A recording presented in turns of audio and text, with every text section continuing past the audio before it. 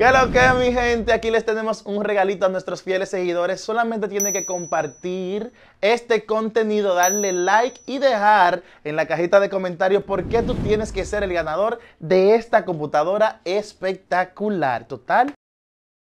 Sigue conectado con este, su programa radial, La Oficina Caliente. Caliente, caliente. Eh, nada, mi gente, buenas tardes. Bienvenido a la Oficina Caliente por Festival 90.3. Hoy, eh, inicio de semana, resacado. Eh, bebimos muchísimo el fin de semana. Bueno, bebimos y trabajamos también a la vez. Yo, yo bebí suero este fin de semana, pero a mí me tocó suero porque eh, fue mucho trabajo, agradeciéndole a Dios que estamos trabajando mucho. Y pues ah. fruto de ese trabajo terminé en la clínica. Exceso de trabajo, la, la, la estrella de aquí de la oficina.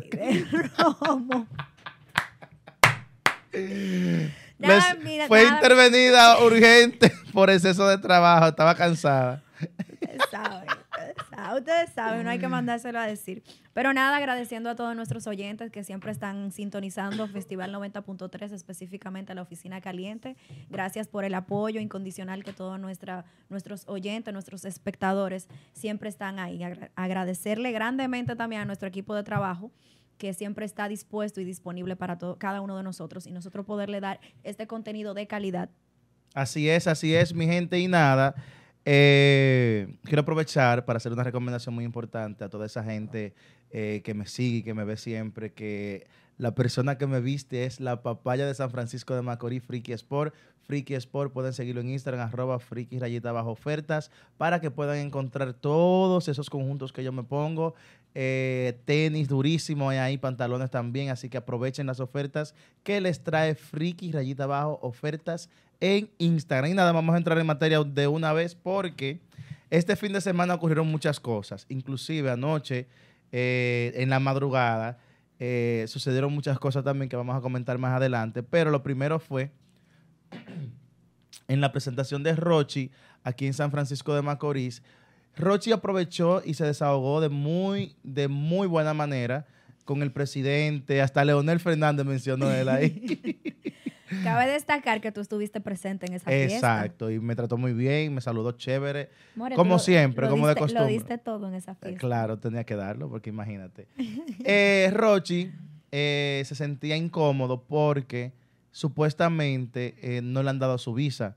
Como que él dice que es como de maldad, que se lo están haciendo, que sean justos porque fuera del país lo están aclamando mucho, o sea, en Estados Unidos, para que él pueda ir a trabajar, pero lamentablemente eh, no ha sido cedida su visa por los problemas que ha tenido legales y todas esas cosas que yo entiendo que honestamente están siendo muy injustos con él porque él está muy tranquilo, muy calmado, eh, arrepentido por todas las cosas malas que ha hecho en el pasado y yo entiendo que las oportunidades, eh, hay, segundas oportunidades y yo entiendo que a él debería de dársela y también escuchar las aclamaciones del público porque lo están, lo piden, o sea, lo piden con ansias allá fuera de, en Estados Unidos, fuera de aquí. Tú sabes que nosotros aquí estamos como panelistas eh, y cada uno estamos para dar nuestra opinión y nuestro punto de vista de cada una de las cosas. Yo entiendo que el arrastre legal que ha tenido Rochi no es para pasar en alto. Yo sé que ya él pagó lo que tenía que pagar, pero, pero, eh, yo creo que la justicia, el país, eh, las autoridades están tomando este caso como ejemplo para que personas como él no sigan cometiendo. Entonces, yo creo que está bien que le den su escarmiento, como tengan que dárselo a lo largo de lo que tengan que dárselo, porque es que no puede ser tan fácil, porque lo que él cometió fue un error, pero... Fue un error y fue muy grave. Y aparte de ese error que él comete, porque tampoco le voy a, le voy a tirar todo el peso encima, lo, lo cometen casi todos los urbanos.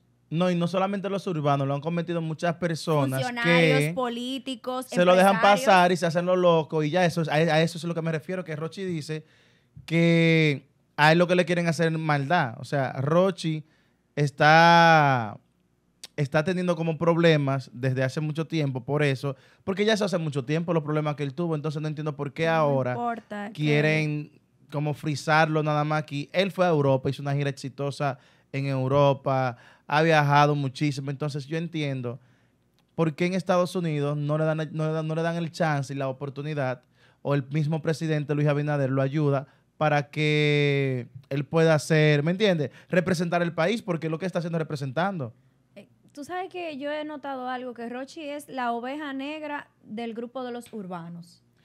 Para, para, para las personas con una supuesta credibilidad y con ah, delante de personas elocuentes. Lo primero que habla en un grupo de personas con una supuesta educación, vamos a decir supuesta educación, porque la educación no es solamente hablar bonito y comportarse bien.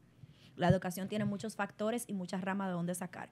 Él viene siendo la oveja negra, un tipo que físicamente se ve maleante, un tipo que habla muchas cosas feas en sus canciones, un tipo que se ha comportado mal a nivel legal, viene siendo la oveja negra.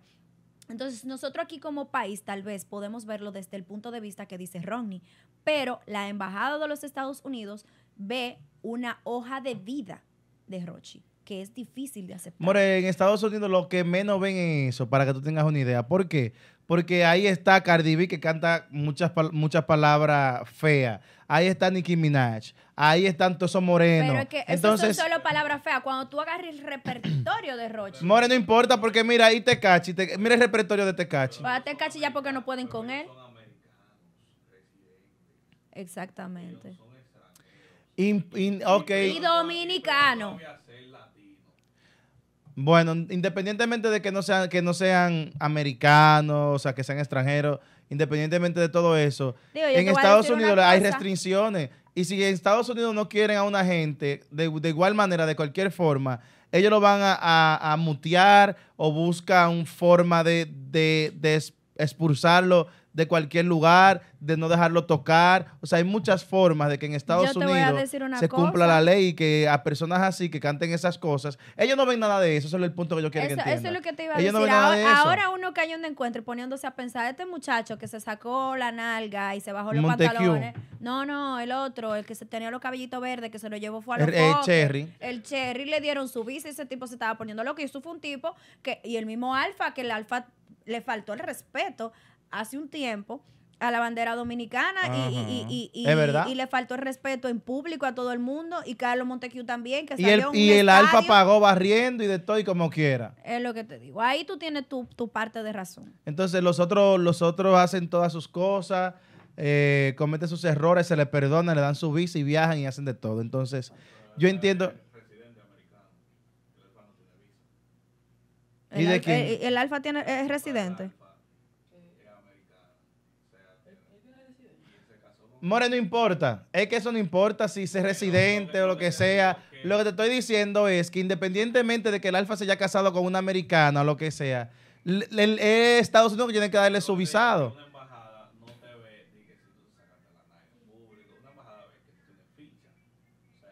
Sí. Claro, porque es su país. Por si no se escucha en, eh, eh, en radio, producción aquí nos dice que la embajada americana no ve si tú te sacaste la nalga, si tú hiciste esto, si tú te aquello, sino la ficha que tú tengas a nivel legal. Pero yo te voy a decir algo. Por eso se limpia aquí y las fichas se quitan. Entonces, Secreto. cuando viene a ver, Rochi ya tiene todo eso limpio y todo, y hizo su diligencia, y como quiera se le están negando, Más porque cuando ficha viene a que ver. secreto no creo que pueda tener una gente. Ay, es verdad. Más ficha que secreto no puede tener una gente. ¿Verdad? Secreto ha tenido muchas fichas. Pero, mi amor, y secreto va, viene, va, viene. ¿Y cómo se llama este también? Flow 28 ha viajado muchísimo. Ángel Dior, que recientemente tuvo un problema con una menor que cayó preso. Pero la misma Yailin cayó presa en Estados Unidos. Pero ella, ella, ella supuestamente puede tener impedimento de entrada en Estados Unidos por el caso Pero que tuvo. Pero tanto está eso viajando. es supuesto. No, ¿a dónde? Ella no ha viajado después de eso más. ¿Ella no ha viajado? No. Bueno, pues mala mía. Ella, hablando de Yailin, vamos a entrar con Yailin ya finalizando lo de Rochi. ¿Eh? Tira un tema durísimo donde la modelo principal es la Piri, la amiga de la amiga. Yo tengo una pregunta. A ver. ¿Por qué la Piri es hombre vestido de mujer? Espe- no, pero es que el problema es que la Piri en todos los videos eso es chuleándose una mujer. Entonces no, no es pájaro, ¿no? Bueno. Porque en todos los videos se está comiendo una jeva, ya que se quita la peluca. y se ponga la ropa de hombre, porque en todos los videos chuleándose una jeva. O es Mm. lesbiana o es pájaro, ¿cuál de los dos? Vamos a ver, no sé. Hay que preguntarle a ver cuál. Bueno, yo ni sé. Hablando de ese video, eh, vimos en las redes muchos memes que le han sacado a Jailin, el Jailin de todos los días, la Jailin que siempre nos da contenido. Gracias, Jailin, porque a nosotros nos das mucho contenido. Eh, ella saca la lengua y sacaron unos No, memes. pero no fue en ese video, no, no fue en ese, fue, fue un video viejo. Pero tuviste ese meme que le estaban pintando la lengua Ay, de blanco. de blanco, sí. Pero ella ya la limpió. Y eso- los comentarios, mi amor, dije que se comió un liquid paper. Ay, Dios mío, qué fuerte. No. Pero mira, fíjate que Yailin eh, anoche estuvieron en una discoteca. eh, como, no sé, disfrutando en una discoteca en Santo Domingo. Que cantó con la insuperable. También subió borracha al escenario, cantó con Insuperable. eh, empezó a lanzar muchísimo dinero. Muchísimo dinero, more. Tú viste que todas las papeletas eran de un dólar. Sí, no importa, pero eh, calcula esos bollos, mi amor, de un dólar. Ay, more, Ahí de un dólar tienen que haber mínimo. No, tú eres loco. More, pero cámbialo 50 de un dólares dólar. así, more, tú eres loco, eh. Pues está bien, 100 dólares, poco para el paquete que se hace. More, ahí habían algunos 3 mil dólares para que tú tengas una Ay, idea. no, Ronnie, no. Claro que sí. Yo te hacía más serio, ¿no? No, yo te estoy diciendo, more, porque mira, número uno, ese dinero estaba nuevo. Se veía nuevo. Eh, número dos, yo que he contado dinero en dólares, eh, 50 dólares como así, en pesos todito pegado así. Y ahí habían bollos así era. Entonces ahí no, no había que, que, que 50 ni 100 dólares, ahí habían unos miles de dólares. Te estoy diciendo yo porque Como yo sé. máximo le pongo mil. No, no, es que eran varios. Ella tenía varios bollos.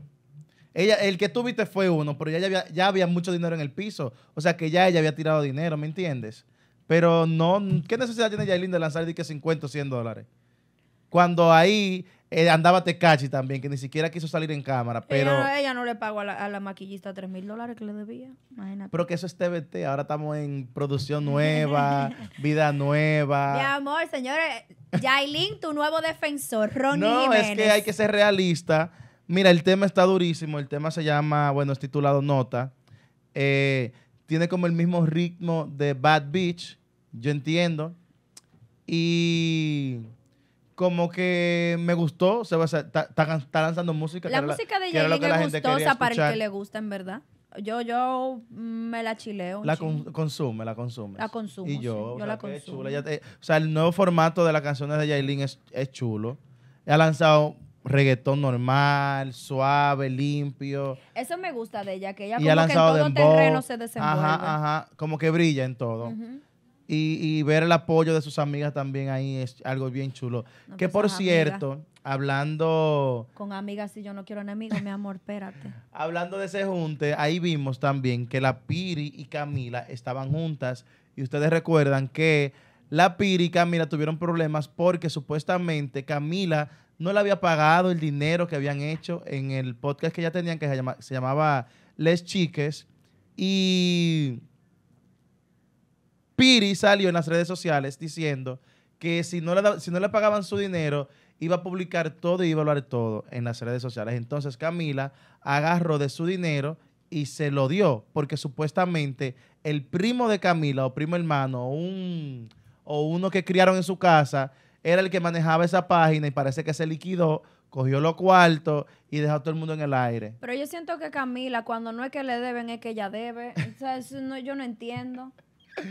Entonces eso fue lo que pasó, pero anoche, por, por, por vainas raras de la vida, vainas del diablo, ahí salió la Piri con Camila de que, que la Piri lo amaba. Piri ama como a todo el mundo, yo ya yo no entiendo. Yo te estoy diciendo, esa mujer besa. Yo, yo ya yo no sé. No, el punto es que después que ella habló tanta mierda, en la- el punto mío es que después que ella habló tanta mierda en las redes sociales de que la iba a publicar, que supuesta y alegadamente iba a ser un sin tabú para contar todas las cosas de Camila con Jessica, que iba, o sea, un sinnúmero de cosas.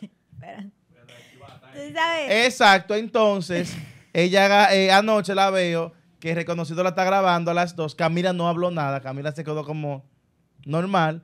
Y Piri dice que yo la amo, yo la amo. Yo siento que la Piri va a ser la versión china o la versión Shane de la Chacata. ¿Tú crees? Ay, sí. No. Que no tienen personalidad ninguna de las dos. Tú la ves hoy con una personalidad y al otro día la ves con otro tipo de personalidad. Bipolar, entonces. Eh, no, no, no, esas mujeres tienen un closet para la ropa y otro closet para la cara. Bueno. Es verdad, viejo, porque concho, le un día habla- tú eres mi amor, tú eres mi cielo, otro día yo no puedo ver esa tipa porque no la soporto, así mismo la chácata. Bueno. Ya volvemos con más de la oficina caliente por Festival 90.3. Sigue conectado con este, su programa radial, La Oficina Caliente. Caliente. Caliente.